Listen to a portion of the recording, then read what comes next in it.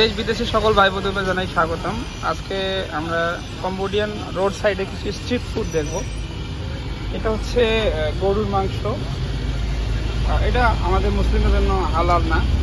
তো এখানে তারা, এটাকে বলা হয় ফ্রাইড রাইস। তো কম্বোডিয়া রাস্তার পাশে সিস্টারের হাসিটা অনেক সুন্দর। তো সে ফলের দোকান করে, এখানে হচ্ছে ফলের জুস বিক্রি করতেছে ওয়ান গ্লাস আমার লই। Maria. হ্যাঁ. মই ডলার সে বলতে আছে যে এক গ্লাস হচ্ছে তার এক ডলার দাম। এখানে আবার আরেকজন রয়েছে ইনি হচ্ছে যে গরুর নলি টাইপের মতো করতেছে।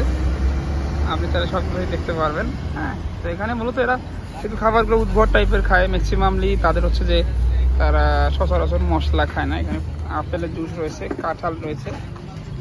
তারপরে বাঙ্গি রয়েছে, আম রয়েছে। এটা হচ্ছে তাদের পূজা করার একটা সিস্টেম মাত্র।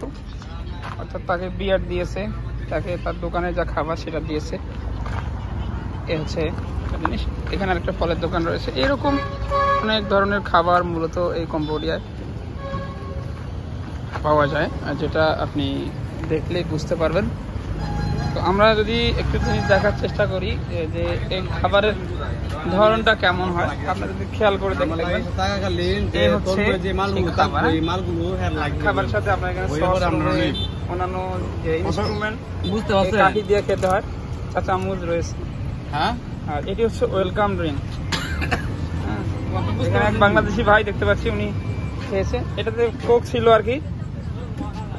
তো ইনি খাবার খায়নি মূলত দেখেন। সবজি ছিল পেঁয়াজ পাতা রয়েছে তারপরে আপনার আমি বয়স দেখো বয়স যেমন ভাই খাবারটি খাওয়ার পর আপনার কীরকম লাগে? আপনার কি মনে হয় যে আপনি বাঙালি কোনো ফ্লেভার আসে খাবারে?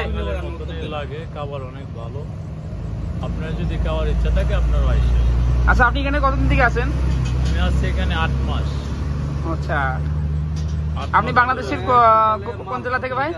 আমাদের বাড়ি থেকে কিশোরগঞ্জ জেলা করিমগঞ্জ থানা গুন্দরি নয় আচ্ছা আচ্ছা। আরেকজন রয়েছে এই যে সিস্টার দেখেন অত্যন্ত সুন্দর।